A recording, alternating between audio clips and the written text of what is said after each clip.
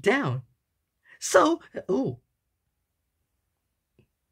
what was our first clue?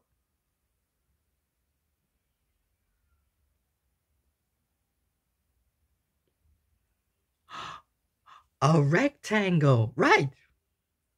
Hmm. And now our second clue is down. Huh. So what could Blue Snowy Day Surprise be with a rectangle and down?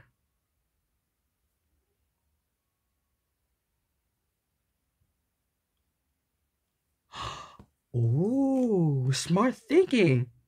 Mm, mm, mm, but I think we still need to find one more clue to figure out what Blue Snowy Day surprise is.